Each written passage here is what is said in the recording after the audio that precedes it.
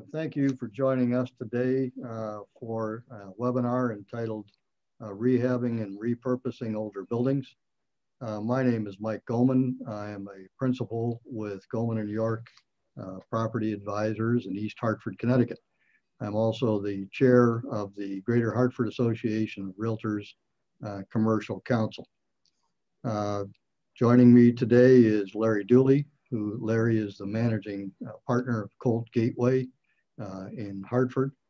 And uh, this uh, topic of uh, rehabbing and repurposing older buildings is one I know that uh, many of the people listening today can identify with and have some familiarity with. so let me, in a second here, turn this over to Larry to get started. And we're going to, Larry has a PowerPoint that he's going to walk us through, and then we'll just chat a little bit about some of the challenges and, and uh, get Larry's uh, input and thoughts on uh, how he, he uh, got the project he's uh, doing off the ground and up and running. Uh, this is one of a series of monthly webinars that the Greater Hartford Association of Realtors Commercial Council has put together. we did the first one in December. This is the second. There will be one each month through, right now our schedule takes us through till June. So uh, we hope you uh, stay tuned for the further announcements about upcoming topics. And, and of course, we hope that you're able to join us. So let me move, let me move on and welcome Larry. glad you could join us today, Larry, and thank you for taking an hour out of your day to talk a little bit about this project. Well, thank you, Mike. It's great to be here and uh, even with these unusual circumstances. But um, you know, not I uh, anymore. getting better. Yeah. So um, I, as you said, I'm the managing partner of Colt Gateway. Um, my investor partner is uh, Chevron TCI, who is a wholly owned subsidiary of Chevron Oil. And uh, I, I, came here initially um, to run this and other projects for the first developer, which is a guy named Bob McFarlane and Homes for America Holding. And they came in here and took a swing at it. And uh, they, they, made some mistakes. And uh, I saw some of those mistakes. I was running construction. My background is in construction. And I have a, I went to UConn for my undergrad. I have a master's in technology management. Um, and that's uh, just something that's come in very handy here because of my now 40 years in construction, uh, that does come in handy when you're doing something like this, working with a lot of contractors and a lot of maintenance and a lot of different things that require uh, that type of background. So uh, when I came here, uh, the original developer was doing fine, and then uh, things uh, got out of hand. And around 2008, I started in 2006. I'm actually about to have my 15 year anniversary from the day I walked in the door here and a lot more hair back then. Uh, but you know, uh, we we got there. So uh, I came in and was working for him, and he ultimately made me executive director of the project uh, for him. But then it started going south in 2008, as as many of you know, that was a tough year for a lot of developers. And so he handed it over to another developer for a short period. That didn't work out. And in 2010, Chevron called me up and said, uh, "Look, we're to, we're the tax credit investor now. Uh, we're going to exercise our rights. We're going to take over the project if you'll come in as the managing uh, partner and partner up with us. And uh, so I pretended like I, I didn't know I was going to say yes immediately. I, uh, I, I, said I had to go ask my wife actually. Uh, but uh, but I was very excited about that opportunity. And since then, in 2010, I've just tried to make the most of that opportunity and try to continue to create value here. That's great. Thank you. It's a terrific project, as uh, uh, many people may uh, uh also have shared. Uh, I was able to uh, see a lot of the project, and Larry was kind enough to give us a, a guided tour a, a, while back now. And it's really a remarkable, it's a remarkable site and set of buildings, but perhaps most importantly, it's a remarkable outcome that Larry and his team have managed to bring. So talk a little bit about the, just to give the audience a, a, sense of how big it is. How many square feet and, and how big is the site? Sure. We have um, about 600,000 square feet um, and we've got 10 buildings. And you'll see when we get to the PowerPoint, there's uh, some maps and things that kind of show what buildings we have. Um, we have 177 residential apartments now. Uh, we have, gosh, about 300,000 square feet of a commercial and educational space uh, between um, Insurity and uh, JCJ. We have three architects, JCJ, Meridesign, Tecton, and some of that's in my PowerPoint we can go over, but uh, we also have CREC School has a huge presence here, and they've been a big part of this place. And then they've receded back since. So it's it's funny because historic projects are all about adaptive reuse, but sometimes it's the second time. Um, so sometimes you're on the second adaptive reuse. So uh, these are some photos. That that photo in the center is a, a photo I took off the roof of the South Armory. Uh, that's how it looks from the South Armory. That's what I'm looking out my window right now. It's where my office is.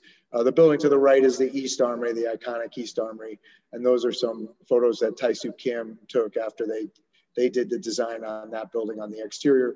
And the building to the left is our South Armory, and that's that's our largest building that we have here. Try not to go too fast. So, so some of these things are, uh, you know, you go to the next slide. It's about adaptive reuse. This was some uh, some photos that uh, JCJ actually put together for me uh, and kind of put this verbiage together here.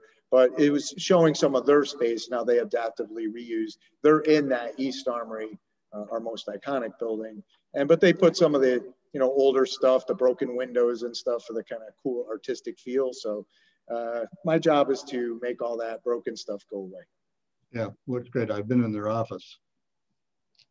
This just shows you some of the history of this place. So uh, you look at the to the left. This was a strike at the upper uh, corner that they had at the Colt factory.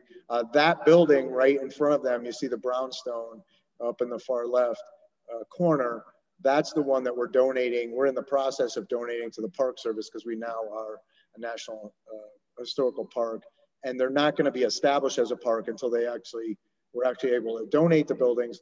I'll say one of the toughest things I've ever done at Colt is try to donate two buildings to the federal government. Very difficult, um, and donate. Um, and then you look to the photo to the right, you see some of the workers, and this is in the mill in the East Armory, which you'll see some interior photos. That's where you've got JCJ Architects, you've got Senator Murphy has his office there. Uh, we have some CREC programs there. Uh, Insurity has some space there as well. Uh, look at the lower corner. Uh, that's some construction they did, which is our what we call our L-shaped building, uh, where you can see the wood framing up. And that was like a community center for Colt at the time. And that was a CREC school for quite a while. And we now brought, brought Tecton Architects into that building on the second floor. And the first floor, uh, we're going to do a second adaptive reuse that as well. And we're working on the plans for that. And some of the others, you have a lithograph at the bottom and a historic photo of the whole project. So here's the map of our 600,000 square feet. And you can see, um, well, some people would say it's good and some people would say it's bad. Most developers would say it's good that we have a lot of parking.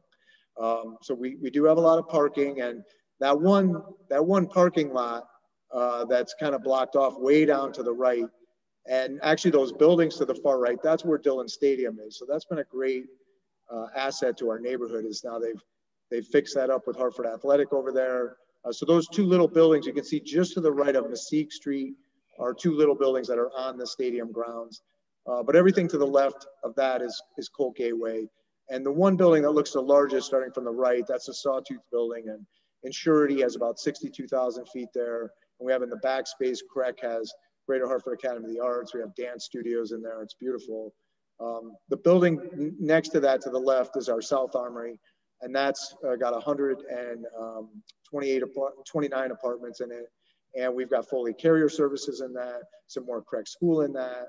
And uh, down where you can see a patio kind of down at the bottom of that building, that's where the Hooker uh, Brewery is, the Hooker Cafe is, and, and that patio there. And that's kind of an interesting story that we have a school in the building and we have a cafe, cafe in the building, but that's something that CREC does such a great job and we separated the things and we made it so it could, they, the paths could never cross. And that's just some of the, you know, when you talk about adjunct development, that's when you have to get CREC to write a letter to ask you to be able to put a pretty much what's a bar and a, and, a brewery in next to a school. But believe it or not, they were 100% supportive of it. We've never had a problem with it. Yeah, um, going up to where the dome is, you can see the blue, that's East Armory. That's where we have JCJ Architects. So we have um, Senator Murphy's office. That's where we have some CREC space there as well. Uh, we have Insurity has some back office space there too. Uh, and uh, we're actually working on some plans for the first floor, which is still vacant space. Just below that is the North Armory. That's the one I, uh, you'll see pictures in in the future here uh, that, that uh, we just finished. That's 48 more market rate apartments that we fully leased. They came online April 1st, 2020, kind of a rough time to come online.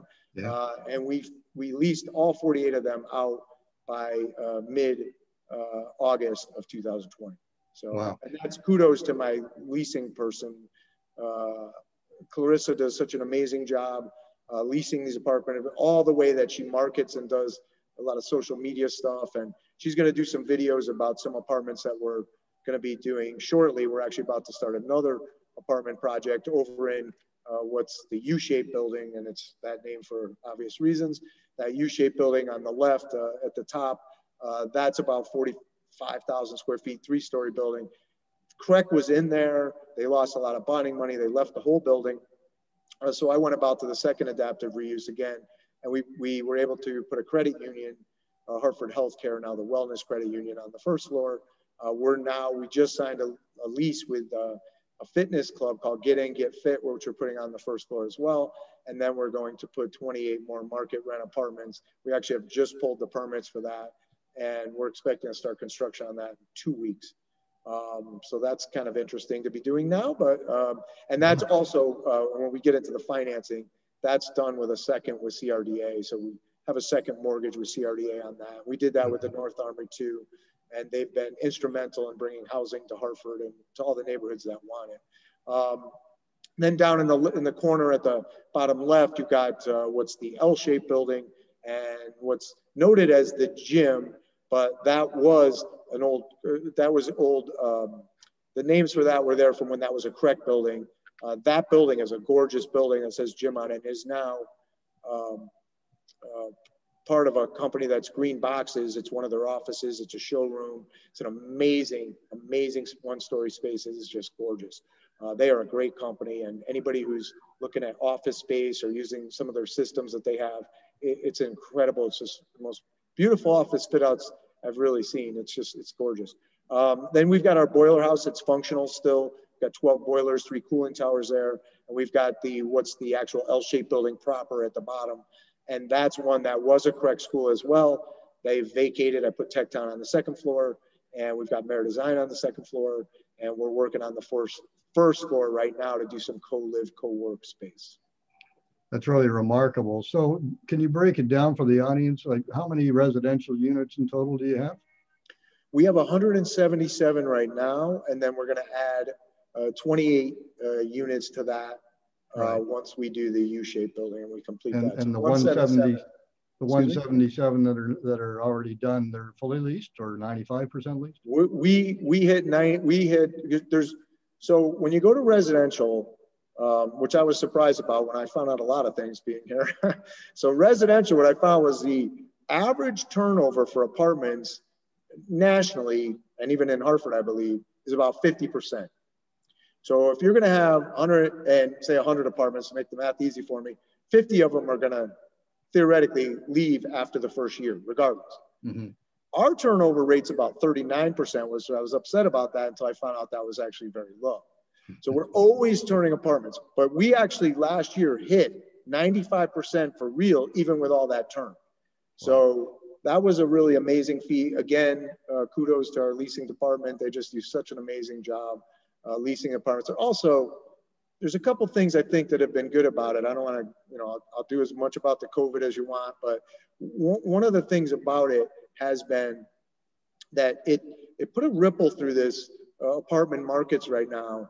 In that, and I made a change based on it when I laid out my U-shaped apartments. I actually changed uh, the course of the layouts based on what I saw, and what I saw was that there was a model that was happening pre-COVID that was a smaller apartment with a huge uh, kind of amenity areas and all that. So you can imagine in the short term the impact on this because amenity rooms are closed, can't use them. Now people are really in their apartment. And so there's a greater concern as to what is this layout inside the apartment as opposed to what's outside the apartment.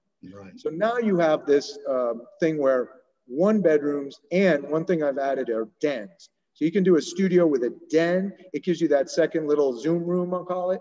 It's mm-hmm. these are the things that people are looking for now.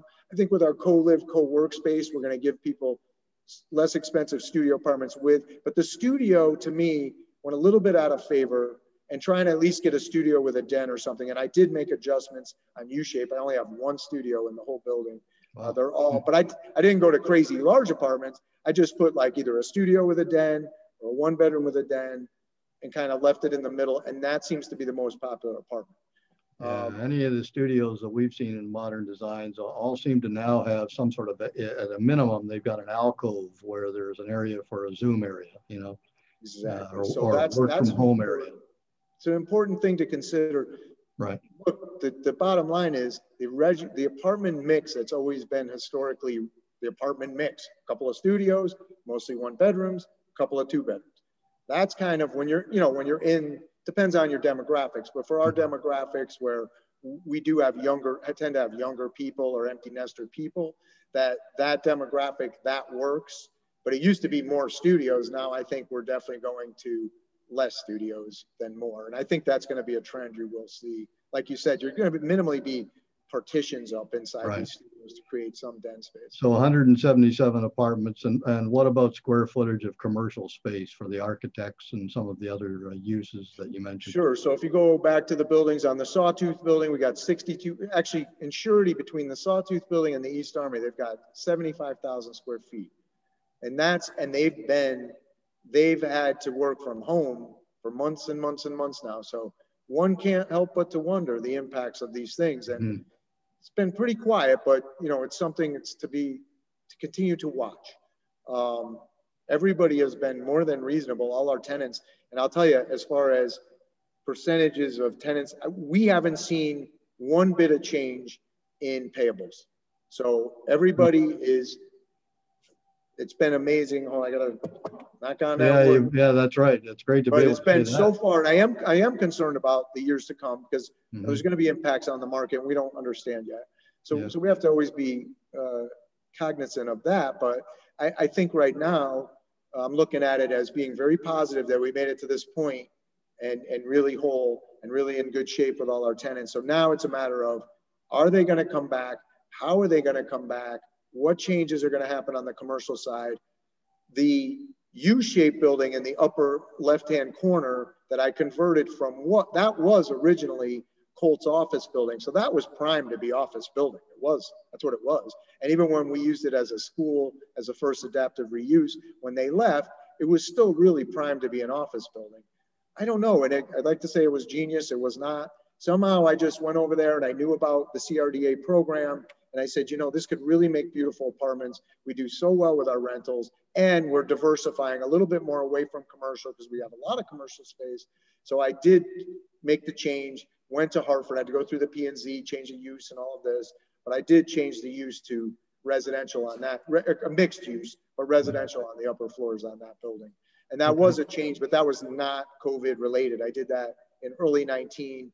I just thought for, for us, it was good. It turned out to be uh, a good thing, uh, but apartment rents and how they fare in the future remain to be seen. So far, it's been okay, but we'll see. The good thing about apartments is it's easier to adjust things. It's easier, and you're looking at a lot of different leases. So it just, it's almost like playing the market a little bit. You're very diversified at that. Sometimes when you put your eggs in one basket with the tenants. So going back to occupancy and square footage, 75,000 for insurity, gosh, CREC still has over 100,000 square feet in the back of the Sawtooth building, in that South Armory building, and some in the East Armory. They are actually building a middle school in Bloomfield. So they're going to move some of their middle schoolers out of here. And at the end of the day, we're just going to have an adult education program they have here with about 15,000 feet. And they're probably going to have probably about 50 to 60,000 square feet that they're going to have for the Greater Hartford Academy of Arts High School that will continue to operate partially here and partially up at the Learning Corridor by Trinity. And that's something they did temporarily. And with their loss of bonding money, they've decided to keep it here. So that will remain. The two brownstones you see, they're, they're uh, shown as um, uh, building eight and 10 in the middle, those two brownstones. Those buildings are the ones we're going to donate. They're about 9,000 square feet apiece. We're going to do donate those to the National Park Service. We're hoping that's going to be done by mid-year this year. And then they have some stabilization money because those buildings are, well, I always just call them a pile of rocks because they are. They're just a pile of brownstones with slate roofs. They could be beautiful, but they're going to take a lot of work. National Park Service will take those two buildings, make a visitor center, exhibition center, what they do with that. North Armory is all residential. First floor I uh, can't divulge it yet, but where you see where it says maintenance shop, that's no longer going to be a maintenance shop. It really hasn't been for years, but that's just above the North Armory there, uh, kind of towards the center. Mm-hmm. And that's going to be a pretty interesting event space. I can say that some company is making an interesting investment into that space in a really a time that it really takes a lot of guts to make an investment like that. But we've kind of started that process, and that is going to be uh, announced pretty soon. So that's going to be pretty interesting. And that's going to tie in nicely with the Get In, Get Fit group, which is out of Bloomfield now. This fitness group, but they work with teams and everything else is going to be in U shape. So then the U shape will be the other 28 apartments. The credit union's about 10,000 feet. L shape, we've got uh, Tecton about 14,000. We've got about 5,000 square feet with uh, green boxes. And then we've got Meridesign with, I think, about three to 4,000. And then the first floor of that building is about 22,000 square feet and that's still vacant. And that's the one I want to work on the co-live, co-work. But uh, you know, I'm working on on my bank mm-hmm. on that. Wow, that's a great story. It's it's an amazing project. Well, I'm going to move on, and you can kind of talk us through a little bit. Uh, that's the aerial of the same plan. Yeah, same right? thing. Yep. Yeah. Some There's pictures. the historic picture of actually those were in some exhibition. The things they had out there. One was like a Gatling gun, and one was some other kind of device. I don't even know what some of those were, but this was some of the crew. And actually, this is an interesting picture. I believe it's from 18, I think this is the one that's from 1876. And uh, if you look where this photo is kind of split there, um, and you look uh, in the second floor, what looks to be, it's actually the third floor, but the second floor window, you see these guys sitting yeah. in the window there. And you look at that window around the corner, it looks like there's a ghost in there. We've got the picture that's bigger, but there's a ghost in this picture that's pretty interesting. Uh, we don't know what the heck it is. No one knows what the heck it is because these guys that are in sitting outside of that corner window on the second floor would be right next to what appears to be. So we don't know what that is, but it appears to be a ghost. Okay. I, somehow I don't think OSHA would let the, the, company have its employees hanging out the second floor window sitting on anymore. Yeah, can you imagine this was a factory that made firearms and yeah. they had guys climbing light poles and actually to the right there's all the that was the old office building to the right that's the Italian aid house and right. you see all the office guys are standing up on top of that with their you know foot up on the on yeah. the rail up there and they have they have numbers over their names one two three and four so they were the if you fall out at your own fault That's right. That's great. So There's here's what it looks like now. Um, Tai Soo photoshopped the ugly fence that we have around the bottom. Uh, they photoshopped that out, but the rest of it is real. And uh, actually, there's some monies uh, that have been set aside for quite some time for the streetscape work on that street. So they're going to put a brand new fence across there, and they're going to put a new sidewalk and new lights, and really do what we should be doing with a national treasure. The These were the historic pictures. I already went through yeah. those. That's just a picture of uh, JCJ. This reminds me of all my tenants, so I don't forget one. So yeah. this is JCJ's common area space, which is in that East Armory. Uh, these are the tenants in the East Armory. This is their space. They have about 18,000 feet and, and, it's just gorgeous. I mean, the pictures don't even do it justice. It's gorgeous. Is it correct that the stairway we can see actually goes up to the bottom of the dome there? Is that where the dome is? That's, that's, that goes up. Yeah, it goes up to the attic. We have it closed off now because the stairs aren't uh, recommended because uh, we have another access way. But yes, that actually does go right up to the dome. Uh, yeah. It goes up to a staircase in the attic that then goes to a staircase to the dome. Right. There's a before and after of the uh, really what was the back side of the building. It's kind of become the front side because our courtyard's on the on mm-hmm. the uh, west side rather than the east. But you could see the state of the building and the windows and everything else when we started. Yeah. sorry. That's all right. A little sensitive that's, here. That's our, that's our, you just blew right by 10 million bucks. Yeah. So right. that's, that's our uh, U-shaped building. Mm-hmm. And uh, there's the before and after. We took the plywood off. We found out why there was plywood on the windows because there weren't any windows. Uh, so we went about uh, to make that the initial, like I mentioned, a second adaptive reuse. So this was the first adaptive reuse in 2013. Uh, the picture to the right was when we made it into the CREC school. And it was this uh, an environmental high school, Two Rivers School for CREC, that they ultimately merged with another high school that they already had uh, built in um, uh, Wethersfield, I believe. Uh, but they moved out of that, that building in 2018, and that left me with an empty building, and that's where we went to the apartments and the credit union. This is the one that we just finished. Uh, believe it or not, those are all occupied apartments now. Uh, but that was while we were in the throes of demolition. Once we took all the, so that's our North Armory. You can see it's right next to the renovated East Armory to the left. Uh, that that North Armory, we we really put that thing right down to the shell, as you can see, and and put it all back together. And that building out to the far right, the lower building, is one of the buildings that you're donating to the Park Service. Is that right? That's correct. That's yeah, the okay. brown, one of the brownstones. Yes. This is our South Armory. It's just one elevation of it. It's a it's a very yeah. that's the largest building, about 200,000 feet. That's a little before and after the same. That's one where we have the 129 apartments in the upper four floors, and then we have uh, Foley Carrier Services on the second floor, half of it. The other half is part of the CREC School. And then the first floor has that patio with the Hooker Brewery. We have a little cafe down there. And then um, we have a, an office that we have, a fitness center in there. And then on the other side, it's closed off and it becomes the CREC School again on the far end of the building. There's our tenants for the South Armory, uh, our apartments, Thomas Hooker Brewery, Foley, and CREC School. These are our South Armory apartments that we did in 2015. Uh, and those are always stay very occupied. Like yeah, I said, 95% range. Yeah, look right. So uh, while we're doing this, talk about a little bit about the rents. If you on on the apartments, for example, uh, what are you seeing on the apartments on a per square foot basis?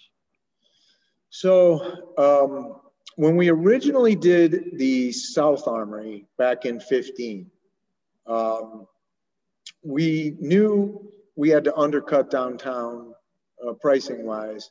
So, and I was looking at downtown markets were about two bucks on the apartment scale, on the month scale. So mm-hmm. two bucks, uh, 24 bucks a foot. That was kind of what they were looking at. So we came in probably, gosh, at about a buck 65. I'd say we, we might even have started out because we started out, we had some apartments that were done about 40 from the first developer, and we finished a few more, then we finished all of them.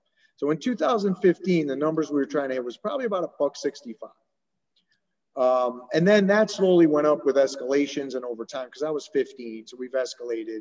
Uh, we usually escalate one to two percent a year on average, depending on the year and what's going on.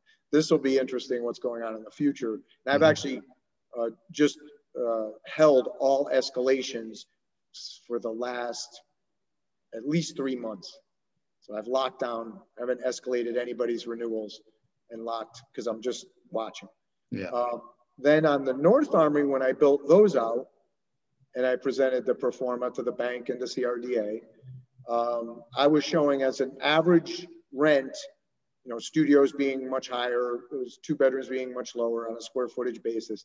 The average rents uh, really would be um, about two bucks. So I went for the two bucks there because now I saw downtown had gone up to, gosh, some of these we were looking at two, 220, 240.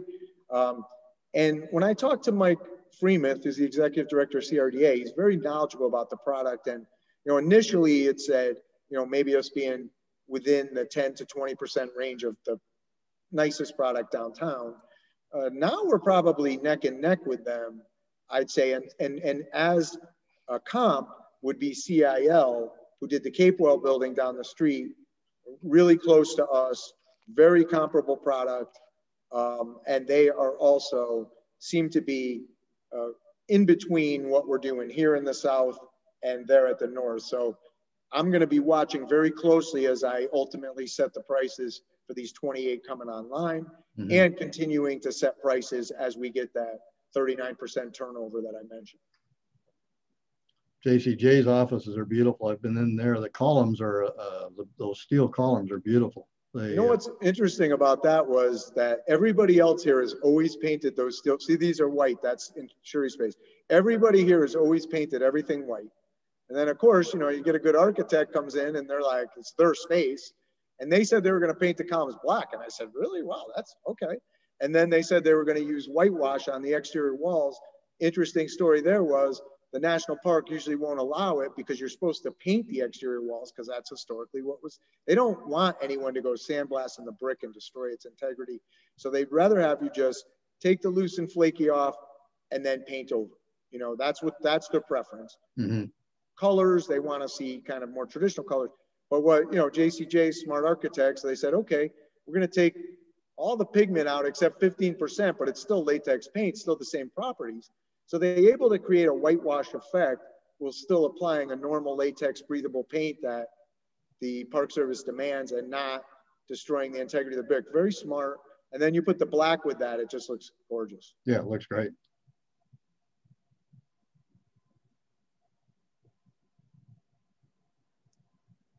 So that's Insurity's back office. There's the white columns you were talking about.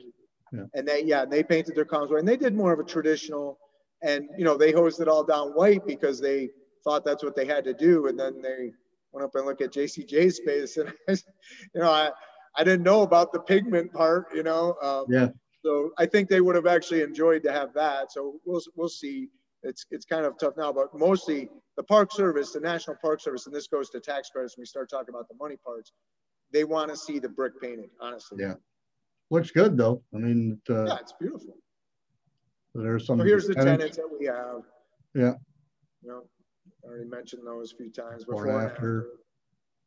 That's more JCJ's. That's that's some of the progress. So so this was kind of interesting the way the building was built. It was built with wrought iron steel. It was one of the first steel structures ever built because almost every mill of this period was built with timber frames. But because this mill was burned down during the Civil War, after Sam Colt died, Elizabeth Colt put insurance on it then it was burned down during the Civil War a couple years later. She collects the insurance policy. She decides she's going to rebuild the East Armory as a fireproof, fireproof building. And she builds it out of and in this methodology that you see a lot in Europe, but it's wrought iron steel beams with brick that's kind of arched between them that makes up your ceiling. It makes for a gorgeous ceiling. Yeah. And then we just put, we took all the old wood that was off the top because it was all, you know, they had number two oil from machines and stuff. Took it all off, cleaned everything up, and put a new simple two by six structures on top on edge, and then put plywood over the top of it. Done. Mm-hmm. Yeah, very effective. The ceilings are beautiful in the building. They really are. So there's Insurity. They were the first anchor tenant here. They actually, I've been here 15 years. They've been here 16 years. So mm-hmm. they've been here. they vested in this place very early, and we're going to do everything we can to keep them happy as a tenant. They're a great tenant. Great. That's great. Correct. Green. Look at this. And this doesn't even do it justice. Just gorgeous. They just their their stuff is so beautiful. They have these different systems that they that they have, and it's just they do some really nice stuff. Really yeah, nice. cool. Tecton. Tecton. Space. That's not their space. Their space is also beautiful, but Unfortunately, they finished their space right before all this stuff happened, and we weren't in, able to get in and get pictures. And so we'll get there. But their space in the L shape, that was something from I think their original space. Their space now is all wide open. It's it's it, it really does. It's it's it's another gorgeous space. Have an architect design their own space, you'll get the best space ever. Yeah, yeah, that. you can afford it. Mayor Design's also with us. They're they're in the uh, L-shaped building as well, and they do a lot of work for us as well. Here's our North Armory that we've yep. converted to apartments and rented out. So you see it was in pretty rough shape to begin with. There's one of the apartments. Yeah, beautiful, beautiful views too. Oh, the views are just unbelievable. Yeah. I mean, that's that's a uh, one of a kind view with the dome. Well, it's funny that you mentioned that because that's the appeal to this place. It's unique, and that's one thing we'll always have.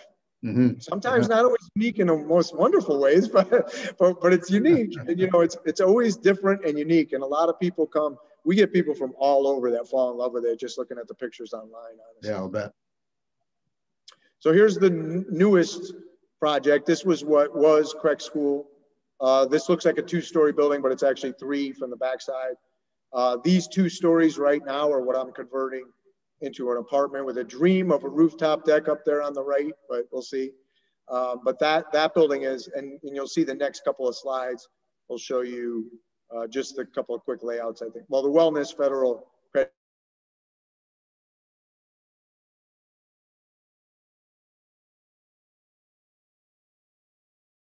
that's what we, th those were our permit drawings that we put into Hartford. Okay. Close to approval for that. But you see, one of the things actually, if you look at that last, any one of those apartments, because they're stacked, but if you open that one up, that you see where uh, right in the center of the U, there's apartments that kind of come back in and the hallway goes around them. Uh, and it's all right, but I basically took two studios and turned them into dens off of the one, off of the, of the other apartments instead of, that's where I did that kind of conversion to break from the studio and go more to the den. Yeah, that's great. Yeah, beautiful. You. You've done a remarkable job. Thank you very much. Really astounding. So can, can you share with the audience a little bit about the investment side? You know, as you know, we uh, here at Goman + York, we do a lot of work on the advisory side and conversion and rehabbing and repurposing of older buildings is a popular subject uh, throughout the Northeast, really. We spend a lot of our time looking at these buildings. And the challenge is always a financial one. You know, uh, the cost of uh, repurposing or rehabbing these buildings often exceeds uh, the cost of new construction, and uh, sometimes the rents just doesn't don't just don't get you there. So, talk a little bit about you know your experience with Colt Gateway. How, how did, you mentioned Chevron, and you might want to talk a little bit about that to the degree you can share information about that structure. Oh, of course. So. Um, when I came in, I mentioned that you know they brought me in as managing partner. They were they were in a in a rough position because they had invested on quite a few federal historic tax credits. So part of what creates a foundation, a financial foundation for these places, are it's it's going to be uh, what you mentioned is the rents are never going to get you there. So when you get to your net operating income point, and based on some cap rate, that's going to get you your valuation. That is just not going to work for the amount of money you're going to need to borrow and put into these buildings. It's just not going to work. So you start out with your foundation of your tax credits. Um, so you, you would have your federal historic tax credits, which are a heavier lift, and they've actually been devalued in the, in the new uh, tax laws that came out in actually 17. Uh, they somewhat devalued the historic tax credits because they didn't allow the purchaser to take them immediately upon substantial completion of the project, they made them prorate them out. So they could only receive the credits over a five year period, as opposed to receiving all the credits initially and then being subject to recapture on a percentage basis over five years. They changed the rules to say you can put your capital contribution in, but you can only get your credits over this five year period, which obviously devalues them. So um, this was something that's been changed that I am hopeful will change back. So you start with that. That has to be a certain size deal to do federal tax credits because the cost of entering into these agreements is pretty extensive, yeah, and you uh, going to have to pull in somebody who's got that kind of tax burden, like Chevron, or used to have. I don't know anymore. But when you look at Chevron, uh, that kind of company, PPG, other big companies that buy credits, uh, these you have to, and now you have to do a pass-through agreement, and they become the master tenant, and it's very complicated. You need specialized attorneys, uh, specialized accountants, and sometimes others. It depends on your knowledge from as a developer, and you need consultants ultimately to put all your applications in. Guys like you to to help explain the deal and help people figure the deal out, even with these building blocks, right? So you got mm-hmm. your federal credits. So you put that deal together the state credits are a much simpler deal. They're a five part application, a little bit of a tough thing there, but the, the program is transferable. So you can sell these to any Connecticut company. So Chevron couldn't take those credits because they're not allowed to do business in Connecticut. So therefore, those are credits where I would have to sell to a third party. Now we have done this with insurance companies in the past, but most recently, Eversource has a program where if you're in an opportunity zone, or whatever the new designation will be, that you uh, they'll buy, they'll potentially buy the credits at par. Hmm. So can't beat that deal. No. so that's something we've done with them. That's what I'm trying to do with our North Arms. I've earned a lot of credits on the North Armory for our company, and now I'm looking at that going to Eversource to those uh, and work with them on the purchase of those credits. So that's an easier deal. You don't need the high level there. So if you were doing a smaller project, you could still do the state credits and not do the federal. That's what mm-hmm. I would suggest. Still not going to get you there, unfortunately. Some of the things I did here was, and it was a different world, remember, uh, 15, well, not even 15, call it even 10 years ago. So even 10 years ago, you know, I was going to DECD and I was able to work out different grants, uh, worked out a grant with the city of Hartford. I mean, can you imagine the city of Hartford really doing a grant for a project like this right now? It's probably not going to happen. Mm-hmm. So they did a grant, but you know what? It was a guy named uh, Panagore that was there. Best thing they ever did because our taxes are now 1.4 million dollars a year. They gave us a five million dollar grant to keep this thing rolling. We put it into building out these apartments. We earned income. They jacked our taxes up, and we pay taxes through the nose now, which is painful, but it got us to where we needed to be to get the apartments done. Turned out to be they were probably my best investor because that money that they put in, what they're paying a pittance on, and, and, and actually they, they gave off to the state, honestly, but that bond that they took to do that grant, I mean, compared to what they're earning back in taxes, when I took over this project, they were 800,000 in the rears on taxes. Uh, I think it went up to 1.5 and the tax was 200,000. Now it's yeah. 1.4. So say again, so just so we're clear here, the audience is clear. So there's a $5 million grant and you're paying 1.4 million in taxes? Yeah. I'll do that all day long. There will be a lot of us out there would say, I'll, I'll invest in that. You know. now you got to remember we had some tax base to begin with, about sure. 200,000. Um, oh. And you know we might have gotten there anyway, or they might have been. But I'll tell you, that just that thing was what kept Chevron in the game. Mm-hmm. Because initially they were just trying to save the credits, and then this kept them in the game because they went, "Oh gosh, I'm not going to walk away from this. I'll make the investment to make this work because I'd be a fool not to." So yeah. they decided to do to stay in, and then all of a sudden I talked to this was when Malloy was governor. Talked to him. He did a grant for the East Arm because it was such a historic building. We were trying to do the Park Service, so that pulled in more. That allowed me to borrow money from what was United Bank, now People's United Bank, uh, to, to, to now get a lender on board and let Chevron step down in the equity position and stop dumping money. Yeah.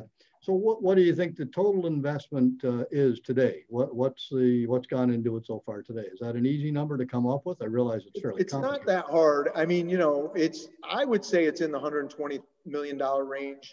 Yeah. So when you uh-huh. look at that, it's like, what the how the heck did that happen? Yeah. Well, there was a lot of deleveraging back in 2008 of bank loans.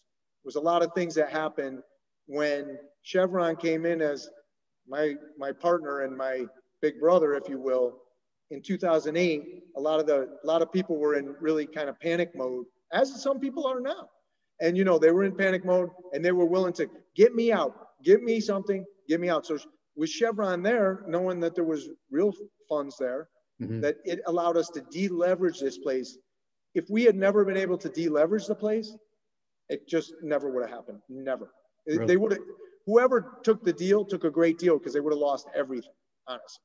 So you know, we that's what we did. So I mean, I rolled my sleeves up and was in the middle of all those really fun uh, negotiations. But uh, they weren't that bad because the time was of 2008, and that was also a really crazy, mm-hmm. kind of horrible time. Between 2008 and 10, this is when this all happened. You know, you've been in the business too long when your experience spans a number of recessionary periods. You know, and I, I, find myself saying it was, it, I think it was four recessions ago when this happened. You know. So a couple, a couple of questions and comments from the audience. One comment is that the grandfather worked there and this is awesome. So that ought to make you feel good. That, you know? I hear that quite a bit of people. grandfathers, things like that. It's so cool. And a lot of times, if people show up and they tell me somebody, I'll I'll take them see what they want. I mean, I I love it when people come here with stories like that. They're great. Yeah, yeah, I'll bet. I'll bet. Uh, question was, uh, uh, will any of the rentals be available for purchase? And I assume that's obviously referring to the apartments. Do you think you'll ever convert or do a condo uh, or co-op arrangement in any of these buildings? I don't, at the moment, I don't think the market's quite here yet, but I mm-hmm. do hear some murmurings that this kind of thing could be possible. When you look at it, so when you look at it from a rent perspective of $1,600 average rent for a one bedroom apartment, so now put a cap rate to that minus the expenses, what's it worth? And sometimes when you look at this, the apartments might be worth so much money based on that valuation that it might not be feasible that people are going to pay that kind of money when they right. could almost get a house, you know? Yeah, yeah, yeah. Question about the environmental remediation. Uh, can you share sort of an estimate of what uh, uh, what you've spent on environmental remediation work overall? That one I don't even want to know, but it's it's it's north of five million, and and and it's it's well north of that, and it could be even approaching ten. But I I don't, I haven't calculated the actual number. I'm actually going to go and do a little forensic yeah. searching and and find out exactly what that number was because the previous developer did quite a bit and that's documented. So I'd have to so add that's that not in your number. number. What they spent's not in your five to 10 million? No, I'd say, yeah, we're talking about what it took. So I'm still working off the same remedial action plan. Okay. We have uh, documented with the DEP and the EPA. So, mm-hmm. and it's funny that that question was asked because we just finished red letter day was last Monday when we just finished our all the remedial action plan work, including capping and everything. So now we just have to do the final report, which is going to be more expensive than I want it to be, but mm-hmm. we're done in the ground, which that was a really so so the, the remedial action report started in 2003. So I'm working off a 2003 remedial action report, and I just finished all that work. Wow. Wow. That's a that's a career for a lot of people just doing that. It has been. yeah. Yeah. The uh, again, uh, a question about financial assistance from federal or state. Uh, and I, I, think you sort of touched on that a little bit, but what, what, was there direct federal or state involvement? You mentioned the grant money from Hartford. Sure. Uh, so we got we got a, uh, a grant money. We got grant monies from an assistance agreement with the city of Hartford back in like 13 and 14. Um, I think that's when it was. And then we've got a grant, which was an assistance agreement with DECD uh, to do the East Armory. That was back in 15, 16.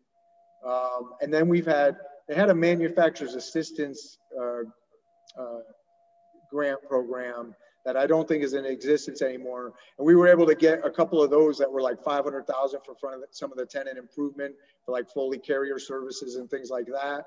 Um, and well, actually, the, the, the federal, the, the, historic tax program is a federal grant. Right, federal. right. Yeah. State program has been a lot of money for us, and that's brought in a ton of money here. Uh, but DECD, like I said, they did a lot. And with a previous developer, they did like a four point, almost $5 million before. So I'm saying like DECD put a, a significant amount of funds into this place back in the day. And on top of that, CREC, because they needed these temporary schools, they came in in lieu of rent and put in some money that really was state money as well, even though you know it was in lieu of rent, so it really wasn't grant money. But I'll tell you, the state has just been so instrumental in this place. I can't even tell you. Plus, we have three brownfield loans, low interest brownfield loans with DCD. And then the newest champion of, of our project has been CRDA and uh, Mike Freimuth. And the, getting that loan for the North Armory as a second that brought it over the finish line because the first wasn't going to, again, just doesn't work.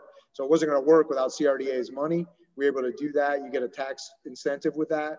And then uh, we're doing that for U-Shape too. So that's also, even though that's a loan and we will pay it back, it's a low interest loan. It's somewhat subsidized. So the uh, uh, back on environmental for a minute, we have a question about whether there is any remaining environmental remediation. Sounds like you're done with your environmental remediation. Do you have monitoring? Do you, are you going to need yes. to be doing monitoring? Yeah, so now we're in the, you know, we've got to do the final report. We actually have to even install a couple more wells we got to do some monitoring after a couple of months in some spots. And then if everything's perfect, you know, so we, we still have a ways to go with the process. But as far as digging or getting an excavator here or capping or putting asphalt or any of that, we're done. We just have to follow the restricted use, continue with our monitoring, and do a couple of real expensive reports. Right, right. So uh, now, who is the owner of the uh, overall property now? Is it uh, uh is it a private company that owns the property at the moment? Well, uh, so the ownership is, uh, we've got two ownership entities, two LLCs. One's called Coltsville Redevelopment Company LLC, and one's called Colt Gateway LLC. That was the original LLC for the whole project. Um, and the ownership of that is uh, a partnership between a company that I own called CG Management Company and Chevron TCI. That's okay. It. There's no other private ownership at all and there's there's no uh, partnership uh, interest that you've sold. Uh, you haven't gone out to the market and so just on. just between uh, us. Right. We just have the two partners, Chevron TCI, and my company that I sold. Right. So it sounds like when we when we listen to your uh, description of where you're at in the development process, you're pretty close to having this thing fully built out. I don't know. what will I do? what are you going to do with all your free time? This place is a never-ending challenge because you know I even look at some of the commercials. There's always something coming up. Is it going to be at the end of the lease?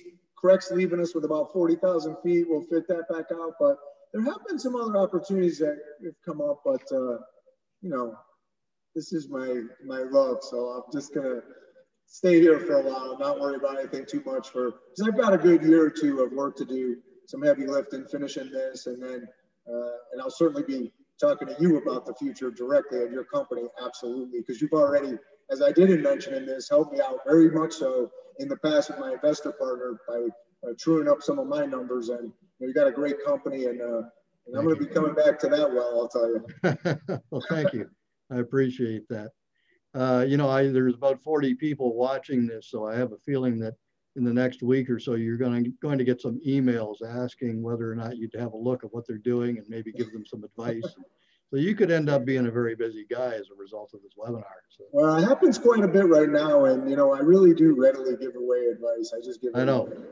So, uh, I and, mean, but you know what? It always comes back in a positive way every single time. Every single time. You know? Yeah, I, I, share that sentiment with uh, with you on that. I feel the same way about the. It's a great industry in that regard. People are always uh, willing to share their questions and their answers and their information. It's great. Sure. a good thing. Um, the uh, COVID, I know you touched a little bit about COVID. Uh, uh, has it had much of an impact on you? So as I indicated, we've been uh, very fortunate in the rent category in that people have not defaulted in any way and uh, companies have been just amazing and uh, creative. And also, you know, you look at the federal government, they were part of that too with these loan programs uh, that helped out some of these companies, allowed them to continue to pay rent or continue to pay employees. Uh, so we've been very lucky. We haven't, one of the effects were more almost personal because, you know, we really try to, I have a, I have a pretty tight crew here. We, I manage the, the property on the ground too. I don't outsource anything. We do everything in house. I have the best facility manager. Uh, not gonna say his name, someone's gonna steal him but he's the best facility manager. His name is Rick Flores, a great guy, best facility manager ever.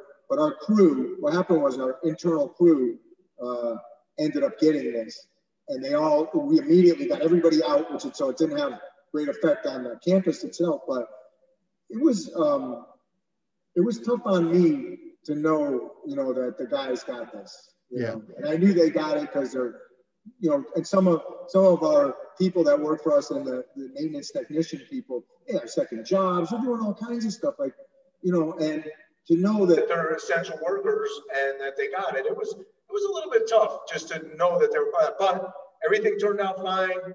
Everybody got through it. And and, and other than that, that was really our only big like internal negative experience with it. But other than that, not, yeah. not too bad. Uh, we have actually a good question about COVID uh, related to design. Have you uh, changed how you're designing your apartments or any of your spaces uh, as a result of the, the, whole COVID pandemic? Sure. So I really did. I, I and well, you know, it's funny. It wasn't 100%. I think it was COVID that did it. But I, I indicated on the U shape, I got rid of this, any studios and turned mm-hmm. them into dens. I turned the studios into dens. So I'd have a one bedroom with a den or a studio with a den, as opposed to just having a studio apartment. So trying to create that separation in space in the apartments, I think it's going to be important. I have in the South Armory, I have a huge studio coming up. I'm going to probably partition off a, a piece of that. I think you're going to see an office space. We just actually signed up Connecticut Innovations. They just finished their space right before they were about to close in. They're, they have a Hartford branch now, and they have a New Haven branch. And so they they did their space thinking of COVID very much so. So I'm interested to see what they've done, and I I'm interested to see what some of our tenants are going to do with their existing space to maybe make it some way better for this kind of operation through this. What about changes to the, your HVAC system? Anything about how you're doing your HVAC systems now? Are you adding in any, uh, uh, you know, you read a lot about ultraviolet, the use of ultra ultraviolet light to uh, uh to sterilize uh, airborne you know, problems and so on. And also about uh, common areas. Are you sort of reducing the number of common areas and so on in your designs? Sure. So uh, on the HVAC thing, uh, my guy Rick, who's a, a licensed HVAC guy, and like I say, best facilitator of this stuff that you ever find. But he's so he he's putting he put all the special filters in. He's looking at the light technology to see if that's something that's of interest or could actually work or proves out to work. It seems as though it does. Um, a lot of our office space is closed right now, or they've got it closed down to most of their people. So they're really keeping a high level of separation, which makes up for the ventilation things. One of the things too is we built a lot of this space out with a very high level of ventilation because schools have a higher level of ventilation requirements in general anyway. So for instance, our apartments are gonna have ventilation like a school, the one we're building in U-shape because we just have it there already. Okay. As far as the common spaces, so we have had to close some of our community rooms. And, you know, I'm looking more at, so my thought about this kind of community space, I like more the idea of bringing in like a hooker brewery and having them take care of that common space and they know what they're doing. And as opposed to me trying to do something like you've seen some of the downtown try to have their own little bar thing that tenants can use. Now all of a sudden you're trying to now you need some expertise now to handle this. So yeah. a guy like Curt Cameron, who's president of Hooker Brewery, this guy knows what he's doing, you know, and he yeah, takes terrific. great care over there. So same with getting get fit. Instead of having, I worked out a deal with him where our tenants can work out in his gym and one part of it as part of our amenity, and he'll take care of the gym because he knows how to do it. So in my mind, the amenity spaces are going to be more like that, where I want pros managing this as opposed to me just building a space and say, come use it. Yeah, very good advice. Very good advice as usual. Well, we've reached five o'clock and I think we've covered all the questions. I've been watching the questions as they as they've come in. Uh, let me uh, thank you again for your time, Larry. This has been great. Uh, uh, appreciate the questions from our listeners. I want to take a minute and thank, uh, thank the GHAR staff, Gina Michelada and her staff at the Greater Hartford Association of Realtors, and also the members of the Commercial Alliance Committee of GHAR. And of course, Larry, can't thank you enough. It's been great. Really appreciate My pleasure.